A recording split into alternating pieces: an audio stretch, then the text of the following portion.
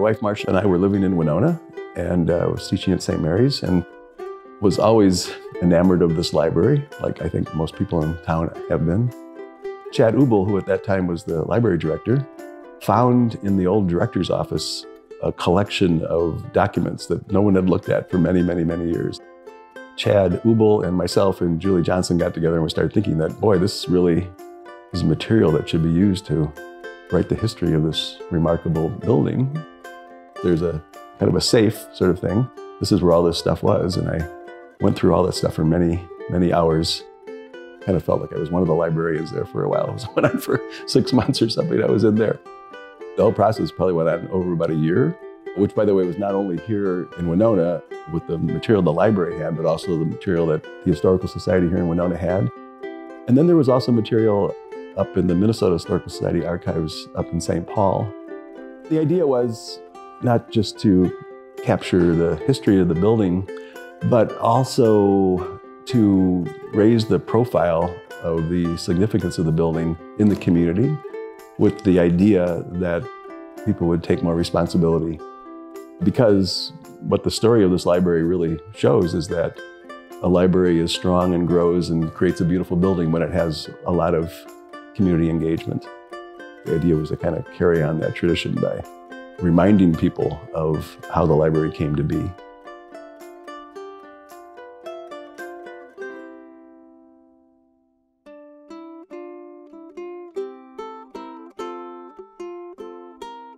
Obviously, the first thing about Winona and why it was here is because of the river. Transportation is always what drives these things. Winona started becoming a place where wheat was brought in, milled, and shipped out again, especially in, in the 1850s when things got started. But then something else happened in Winona that really made it take off, and that was the lumber industry. Winona was well located downstream from where the Chippewa River enters the Mississippi, even farther downstream from where the St. Croix River enters the Mississippi. So up there in that triangle, there was huge pine forests uh, that the lumbermen were buying up and taking down the lumber and shipping it down the river. Then eventually it would come to places like Winona. All along the riverfront, eventually there was four massive lumber companies with their mills. Besides European Americans coming and taking over the Dakota land here, they didn't stop in Winona, but they kept going west, all the way across Minnesota into the Dakotas. Starting about 1862, there was a railroad line from Winona going west.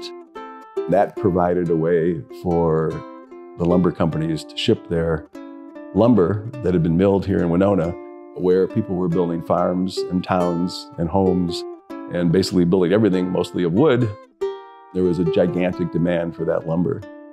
Winona just happened to be the perfect place. And eventually there was five railroads in Winona. The people who were driving that, who were primarily what you could call Yankees, that is to say, people of Scott or English ancestry who were from the East Coast, born in places like New York and Pennsylvania. They were the ones who came in with a little bit of capital and were really driving that development. Before long, there was other people coming into Winona. They came because by this time we have these industries growing up. Winona became really kind of unique in the sense that for a smaller town, they have a significant Polish population. These Poles were all mostly from the same place, from Kaszubia in the northern part of Poland. They formed a pretty strong, vital community on the East End, built their own magnificent church, St. Stanislaus. They came primarily to work in the lumber mills or for the railroads or for other kind of industries. And the same was true of Scandinavians, Norwegians, Swedes, Irish. You also have among this kind of growing middle class professionals, these wealthy men, lawyers, judges, etc., didn't just make donations to the city in various ways, but they were also very active in the library board, the park board, and other boards where they actually were involved in the day-to-day management of these institutions. By the end of the 19th century, Winona for a while was the third biggest city in Minnesota and really thought it was going places. It really was kind of a dynamic boom town. Eventually the economy became more diverse when you get things like Watkins Products and the Winona Normal School being organized very early eventually other colleges. So it became a pretty dynamic town.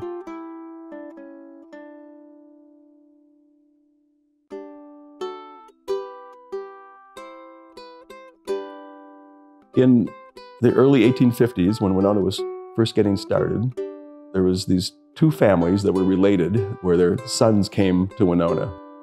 They had a little bit of capital because they came from prosperous farms in Pennsylvania. And they could see that this lumber thing was going someplace. So they started a little retail lumber business. But there was a big depression in 1857, and that kind of took the wind out of their sails. Three of them stuck with it and that was William Harris Laird, James Norton, and Matthew Norton. After the Depression was over, sure enough, things started coming back.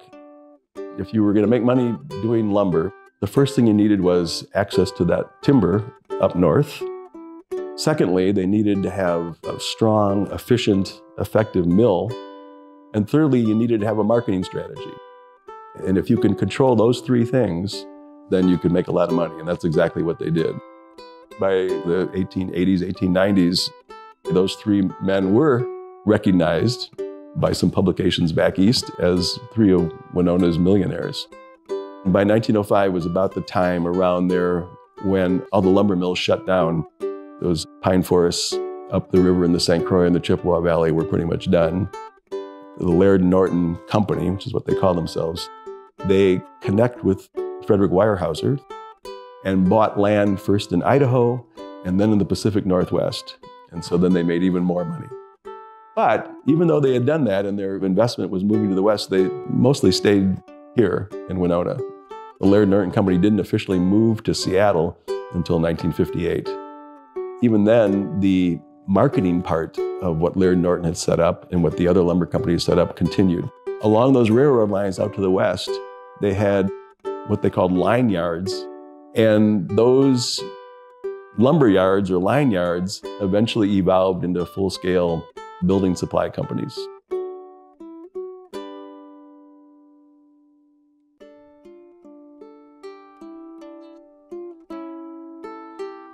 These Yankees, these people of English and Scottish heritage who were kind of the entrepreneurs, the professionals, the middle class in Winona, what they had in mind was building a real city. I mean, they had this kind of urban expectations, and their idea what a city would look like would be something like on the East Coast or in Europe, etc.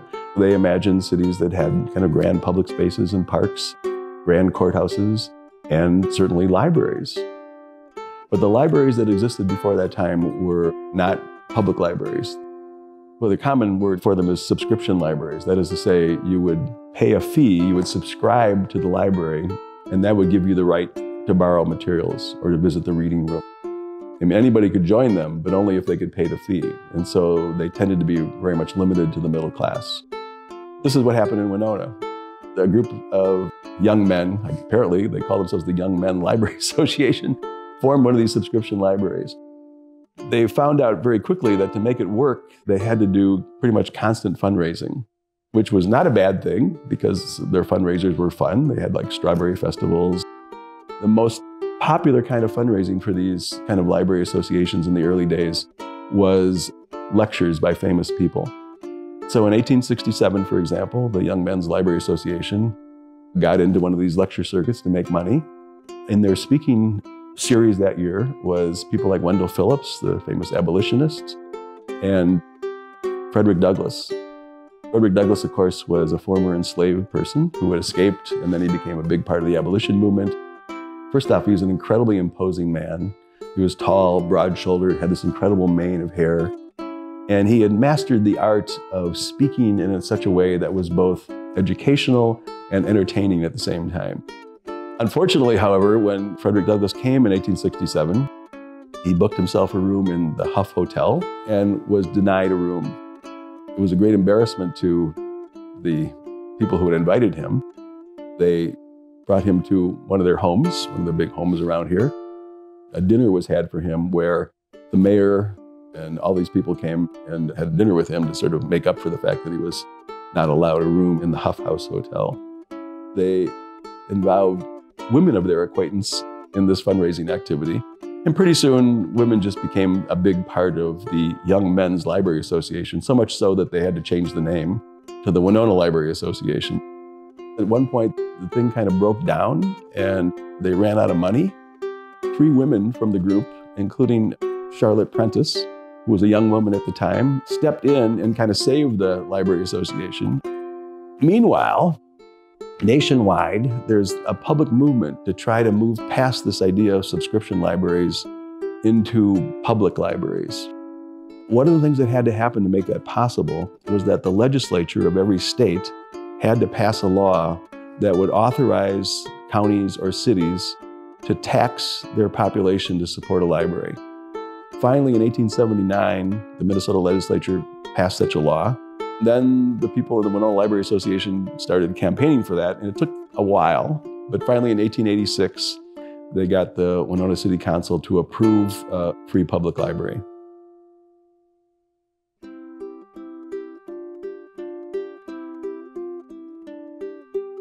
At the time, the Winona Library Association had this rickety old building at 4th and Lafayette, which was a former schoolhouse that had no longer been used by the schools, called the Monroe School. It was a two story building, and they were on the upper floor. It was really hot in the summer and really cold in the winter. And as they got more and more books, they worried that if they put any more books on the second floor, the building was going to fall down. By this time, a guy named Frederick Bell, who was the son in law of William Harris Laird, was the chair of the library board. The library board was made up of these very wealthy entrepreneurs and professionals. What they managed to do is they got the city to deed to them this rickety schoolhouse. Meanwhile, Fred Bell was talking to his father in law, William Harris Laird. They start talking about the possibility of solving this problem by an act of philanthropy. About the same time, Andrew Carnegie, maybe the richest man in the world, was already in the business of library philanthropy. Carnegie began by donating libraries to the towns in Pennsylvania where his steel mills had been, and then had just started thinking about maybe giving towns all across the United States a library would be a good idea. He wrote two articles. The two articles are referred to as the Gospel of Wealth articles. And the first article said that a wealthy man had the responsibility, the duty, to give away his excess money to the common good. And in the second article, he spelled out what he thought that would be. He listed a number of things like universities, hospitals, and also libraries. Certainly, William Harris Laird was influenced by that. And so, what happened in Winona was even before Carnegie began his massive gifts of giving libraries all around the country, William Harris Laird decided to do the same thing in Winona. William Harris Laird had chosen his nephew, Warren Powers Laird, to design the library. The young architect, he was only about 30 years old, but he was a rising star on the East Coast because he was already the dean of the new architecture school at the University of Pennsylvania.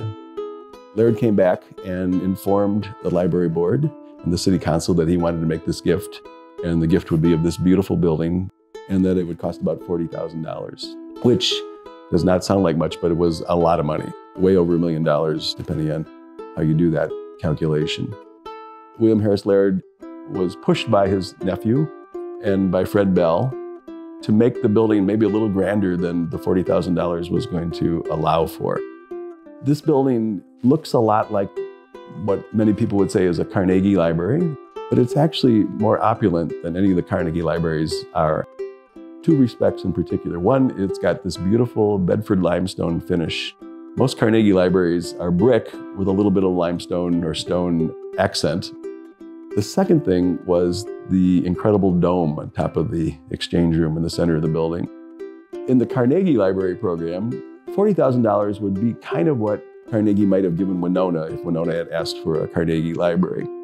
Probably the building cost more like about $50,000 when it was done. It was basically two levels, basically a one floor building with a basement but to make that one story building seem very grand, the one story is up above grade, maybe about eight feet or so. And then the basement is below grade, about eight feet. And then on top of that, you have this magnificent dome. So it looks like a much bigger building than it really is.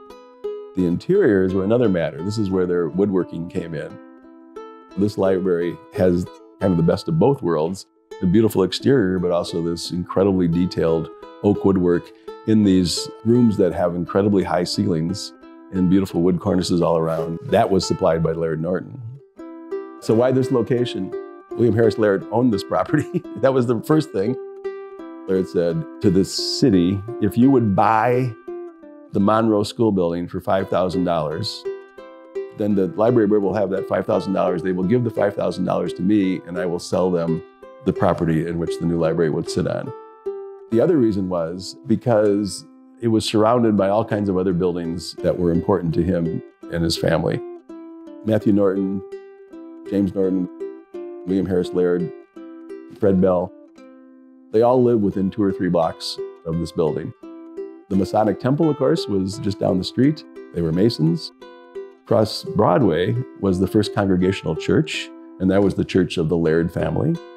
And on this side of the street, down a block, was the Central Methodist Church, which was the church of the Norton family. Plus, it was pointed out that it was a good location for everybody, close to a streetcar line, close to the normal school. It was a good location in general. When it was done in 1899, William Harris Laird came to the library board and the city council and says, I have now done what I promised, which was to build this building and reminded them of what they had promised in return, which was that they would fund the library at a certain mill rate, taxable rate, in perpetuity to make sure the building was always well financed. People were really pretty thrilled by it because it had solved a problem that seemed insoluble in a way that kind of was beyond what anybody thought was going to happen by having a library like this.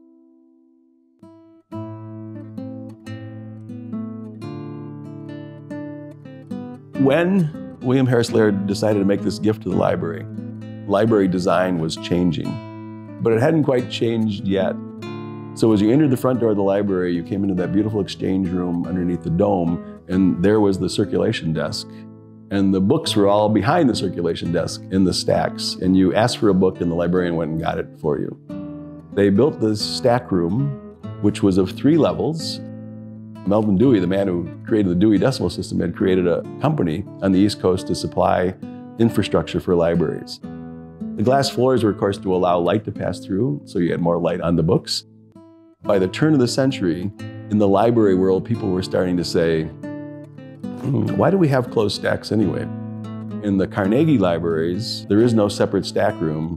Usually what happens is there's bookshelves all around the exterior of the library librarians thought, well, that was really kind of a more democratic way to do it. And also that browsing was really an important part of being in a library. When this library was designed in the 1890s, that kind of reform in the library world hadn't quite sunk in yet.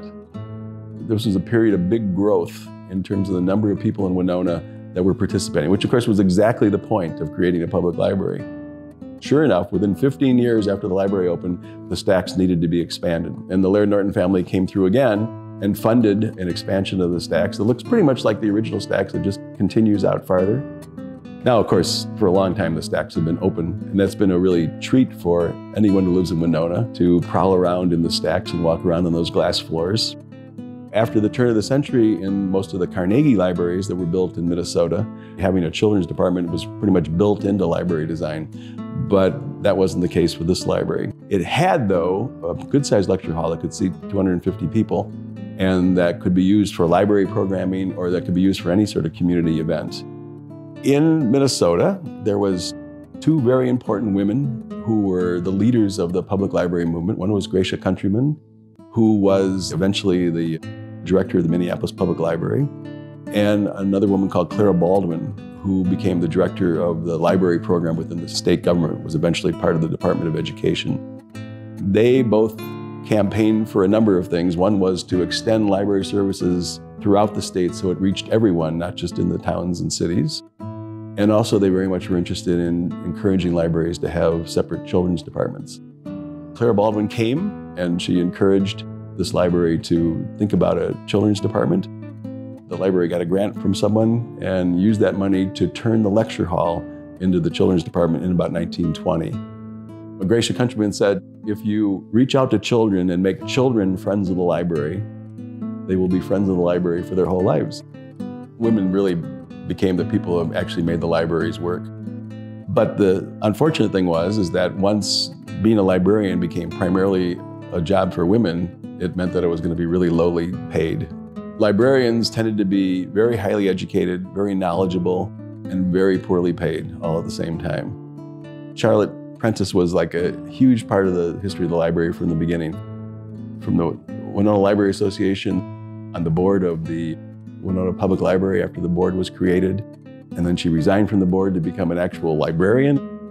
Later in life, when I think she was 49, she married William Hayes, who was another one of the Laird Norton clan. She died, I think, five or six years after they got married. It's really a tragic thing. He was so moved by this that he wanted to do something to really have a memorial to her in the library. He hired a very famous mural painter named Kenyon Cox to design a mural that went up into the dome called The Light of Learning. And it's one of these idealized classical portrayals of enlightenment being passed on through the centuries through the different disciplines, art and philosophy and history, etc. It seems strange now, but it made a lot of sense to people at the time that this building would be not just a place for books, but would also be kind of an art museum for Winona. In the design, they set aside a separate room, actually two rooms. One was the art room, and then in the middle of that art room, there was a spiral staircase down into another room, which was called the cast room, which meant a room for sculpture. The library received many gifts of art, especially in the early years. For example, the statue of Hebe that Della Laird, William Harris Laird's wife, uh, donated to the library after a trip to Florence. The art room was actually a gallery for lots of shows of all kinds of art over the years. One person who actually became very famous, Rockwell Kent, had a little show here. For them, it was all part of the same thing, kind of bringing enlightenment to Winona through books or through art.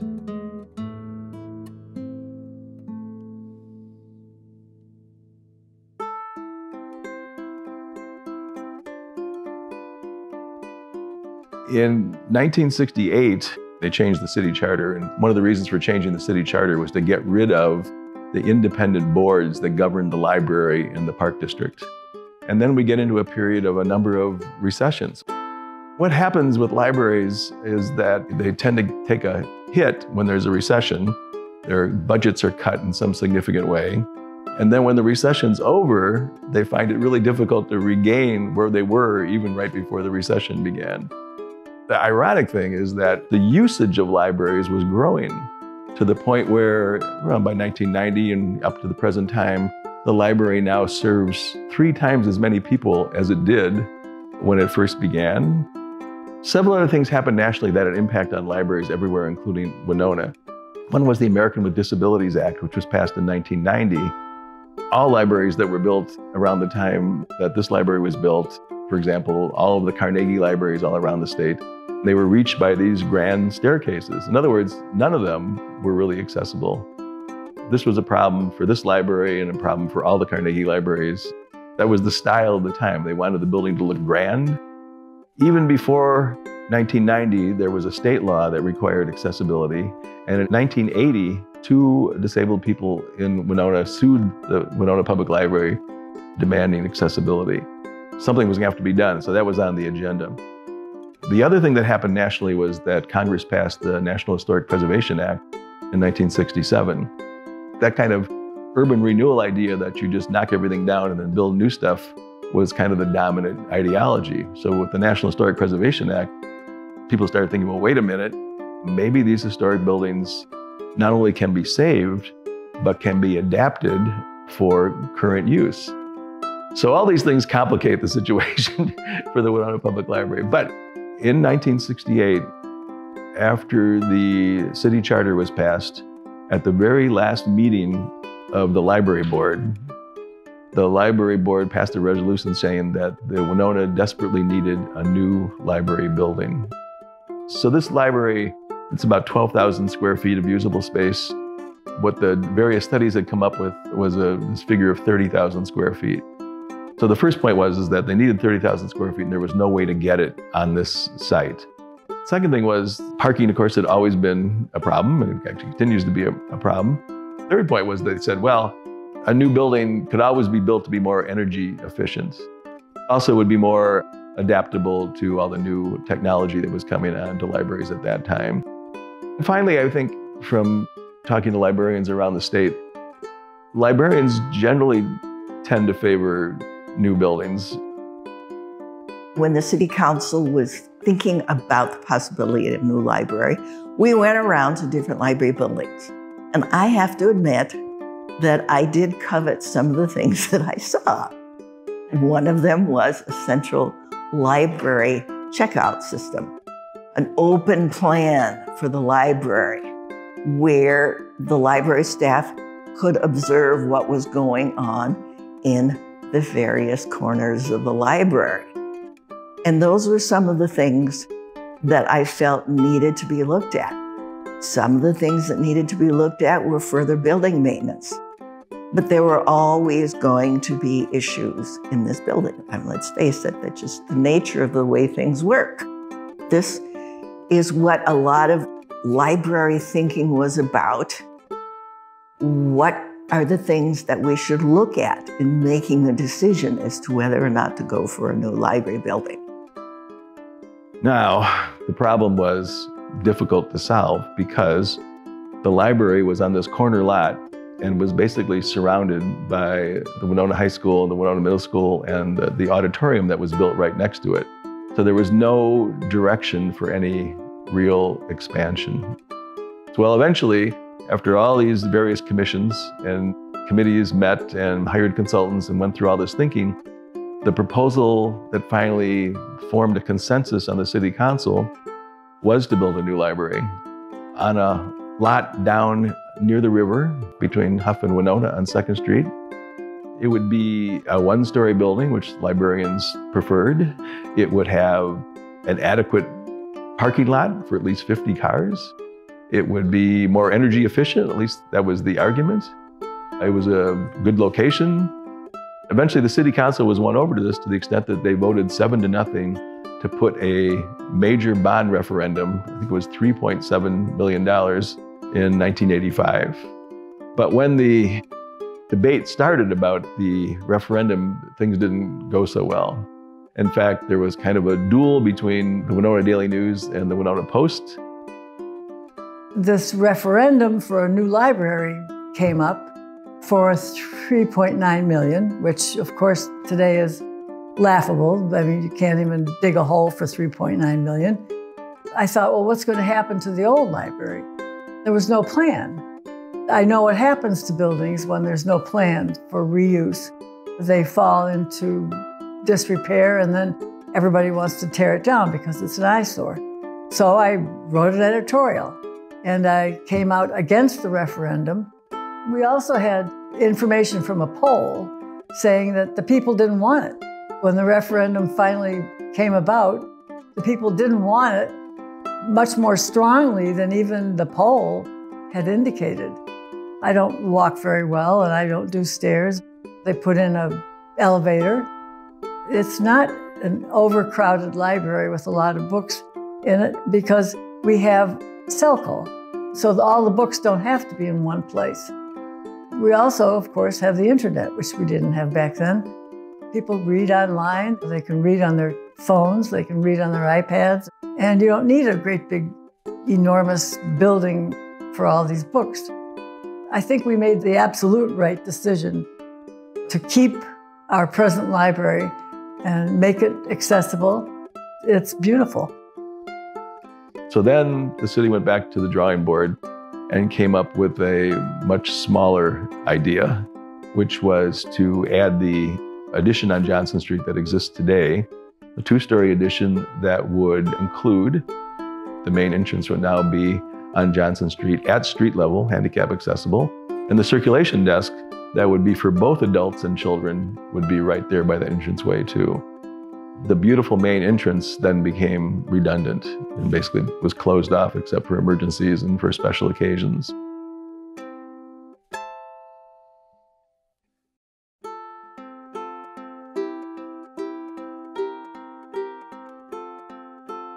The amount of programming and outreach that has grown in my 20 year tenure here, and they certainly were well on their way before I arrived, that has been a major component of our services and offerings is the collaborating and the community partnerships. When COVID hit, we did close per direction of City Council. We were able to come up with a curbside pickup model. We ordered and received as many new Wi-Fi hotspots as we could get our hands on to satisfy the demand with the increased working from home and the online learning. Our usage has been up since the pandemic. We're seeing pre-pandemic numbers again in circulation as well as foot traffic. Normal for us is still not where we were pre-pandemic as far as the amount of hours we are open per week. We have lost some of our evening hours. We have had a harder time receiving some of our supplies and have seen more expenses. The patrons' needs have become a little greater since the pandemic. I would say that's another change in librarianship is that it's very much more social justice based now than it used to be. We provide services to the most vulnerable of patrons. We are lucky to have a very active Friends of the Library advocacy group, particularly over the lean years of our budget where we really struggled to provide outside programming. The Friends would swoop in and gift us resources it's a group of caring individuals who get it. They understand what's important to us, and they too want to leave a mark and have some lasting contributions to this space. The bulk of our funding is provided through Winona County. The formula has not been updated in maybe 30 years. It is on the platform for Minnesota Library Association legislation this year to get looked at and hopefully that antiquated formula gets updated because it makes a big difference. I think libraries, being that they are not revenue generators, have struggled more financially and budgetarily than some other city departments across municipalities. I feel having, across my 20 or 10 years, seen our budget be zeroed out, I feel like we are making a comeback and have proved to be a, a major necessity and a community hub. I feel better about where we sit financially than we did in some years. I feel like space, we have constraints, but we've done a pretty creative job of utilizing what we have, and I don't feel like we are short on space. We have a committed staff that's so proud of our bones and really wanting to carry the stories forward. Yeah, I think we have the best corner in town we are a part of SELCO, which is uh, about 35 public libraries in southeast Minnesota. And the benefit to being a part of that shared ILS, or interlibrary loan system, is that we have access to everyone else's catalogs as well. If we can't find it on our shelf, we can get it from a neighboring library, or even bigger than that, we can access MinLink, which is the statewide loaning system. The number of library card registered holders that we have, I think, is around 10,000. The amount of materials we circ, we have a collection of about 110,000 items, and I believe last year we circed 300,000 something items. We offer a lot in the way of informational services as well, anything from financial literacy to job searching to helping students of all ages, preschool through college. We see ESL and GED courses being held here five mornings a week. We work with refugee groups here.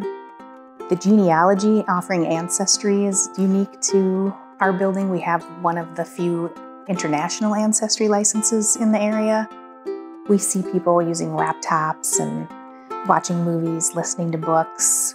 I would say our computer usage is a widely used resource. Certainly, the Youth Services Department is a bundle of energy and they've got a lot of fun things happening. We have a handful of patrons that have been patrons for going on 50 plus years.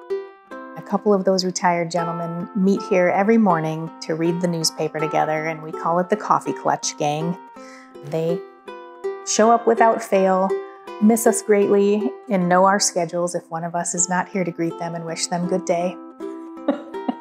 They leave their eyeglasses here. They've got a secret spot on a bookshelf where they hide their glasses overnight.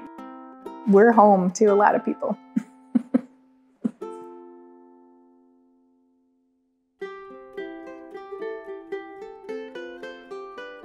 people most of the time take their library for granted.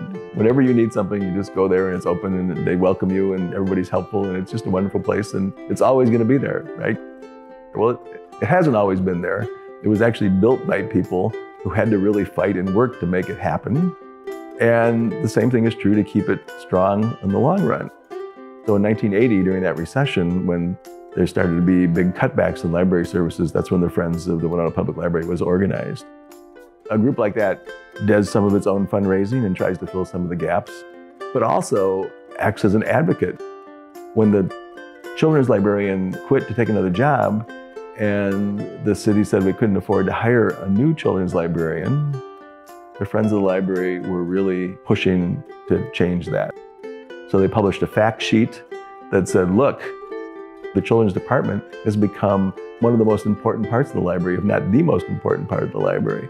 And you have to have a children's librarian not only to run these story hours and this programming, but to be in charge of acquisition of new children's books and materials. That's important because you remember now, there used to be an independent library board of a strong group of people whose only concern was building and maintaining the library. When the city charter was changed, the library board was ended. Now it's the city council who has that responsibility.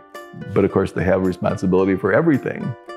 This is why a friends group is so important. You need a group that actually is focused on the library and what the library needs in the present time and in the future.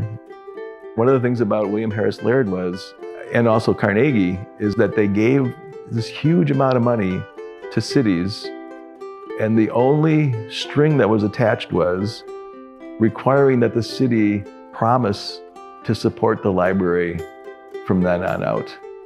It would be wonderful, and it's possible because a lot of money is being made in this town for some people with money to step up and make a significant donation that would solve this library's long term issues with expansion.